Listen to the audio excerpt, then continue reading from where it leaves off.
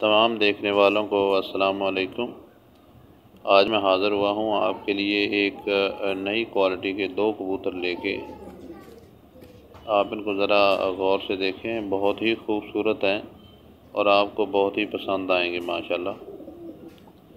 तो मैं अपने तमाम देखने वालों को बता देता हूँ कि ये बच्चा है, ये तो अभी ज़ीरो कली का बच्चा है और बहुत ही खूबसूरत बच्चा है। और इससे आगे जो मैं आपको दूसरा दिखाने वाला हूँ, ये नौजवान मेल है।